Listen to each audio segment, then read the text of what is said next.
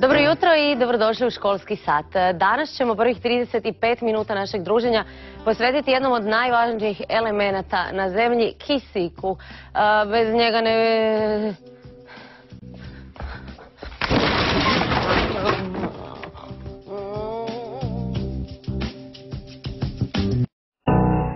Dobro jutro i dobrodošli u školski sat.